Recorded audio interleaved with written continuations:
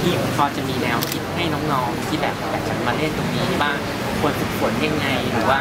ควรจะแบ่งเวลายังไงเอ่อในการจะเล่นอันดับแรกก่อนที่ไปถึงตรงนั้นต้องบอกก่อนว่าครับคนที่อยากจะเล่นอูคูเลเล่เนี่ยต้อง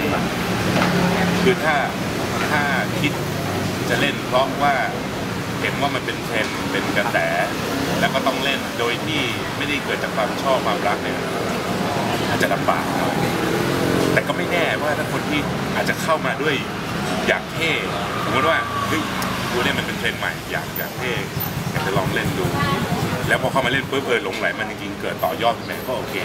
แต่ถ้าเล่นเพื่อเป็นแฟชั่นอย่างเดียวผมไม่ค่อยไม่ค่อยเห็นด้วยเพราะว่า คือถ้าจะเล่นก็ลองถ้าสมมติอยากจะลองเล่นจริงนะลองจริงจังมันดูสักสักระยะหนึ่งลองแบบว่า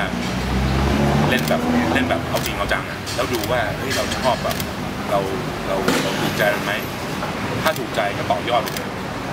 โอเคถ้าไม่ถูกใจ ก็ไม่เป็นไรฟังอย่างเดียวก็ได้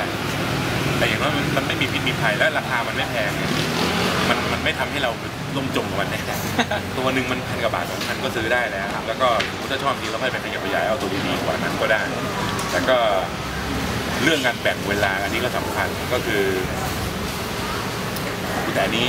อันนี้มุมมองมุมมองของคือผมเป็นอาจารย์สอนดนตรีด้วยไงมันก็อาจจะมุมมองไม่ค่อยเหมือน คนอื่นสักเท่าไหร่เพราะว่าผมรู้สึกการเล่นคูเลเล่หรือเล่นดนตรีอะไรก็แล้วแต่เนี่ยถ้าเราเล่นยิ่งเล่นเยอะ ยิ่งฝึกเยอะมันมีประโยชน์ แต่มันอาจจะไปเบียดบังเวลาที่จะทำอย่างอื่นหรือเปล่านี่ก็สำหรับผมรู้สึกไม่เบียดบังอะรู้สึกเล่นก็ได้ประโยชน์ แต่บางทีถ้าเป็นผู้ปกครองเฮ้เล่นดนตรีมาเอาเวลาไปทำกันบ้านดีกว่าไปเรียนเลขไปอะไรเงี้ยผมรู้สึกว่าถ้า คือถ้าเด็กเด็กที่เขาไม่ได้มีปัญหาทางการเรียนอะไรอย่างนี้ให้มาเล่นไปเถอะ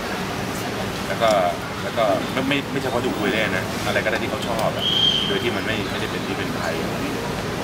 แต่ว่าเล่นเกม เล่นเกมเดี๋ยวนี้ก็พูดยากเล่นเกมบางเกมก็มีประโยชน์เล่นเกมบางเกมก็ก็ก็ก็ก็ก็เอาไปใช้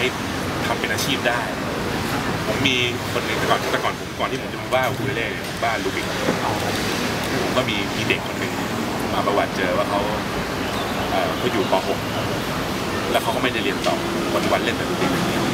พ่อแม่เขาก็ถามว่าเล่นแต่ดูบิกจะไปทำอะไรกิน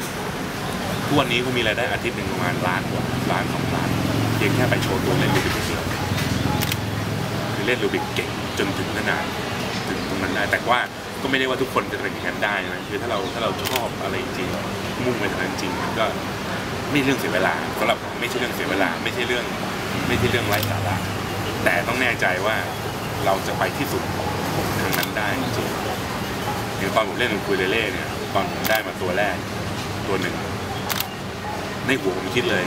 ต่อไปผมจะต้องมีไอ้นี่ยเยอะมาก แล้วมันก็มีจริงแล้วก็แล้วมันก็ต่อยอดไปเป็นร้านกาแฟมาเป็นอะไรได้ แต่คือณวันนั้นณวันนั้นคนรอบข้างก็จะดูผมว่า คือผมผมเล่นเครื่องตีเยอะไงผม เล่นเครื่องมีเครื่องดนตรีเยอะมาก แต่ละเครื่องก็ซื้อก็แพงก็แบบก็เงินก็จบไปกับเครื่องดนตรีเยอะ แต่พอมาดูเลเล่เนี่ยคนรอบข้างจะมองว่าเดี๋ยวเขาเหมือนเครื่องดนตรีก็เยอะโดยที่ไม่เยอะแต่ว่าเออทุกวันนี้ผมไม่เห็นว่ามันมีประโยชน์แล้วก็ทำให้ต่อยอดอะไรได้เยอะก็แต่กว่าจะเจอกว่าจะเจอว่าเป็นเครื่องนี้เนี่ยก็นานก็ผ่านเครื่องที่อื่นๆมากมาย ก็อันนี้ ต้องจะว่าไปก็เหมือนลองผิดลองถูกเหมือนกันว่ากว่าจะเรากว่าที่เราจะเจอเครื่องที่เราชอบจริงๆที่เรารักมันจริงๆบางทีก็อาจจะต้องลงทุนลงแรงลงเวลา แต่แต่พอได้มาแล้วมัน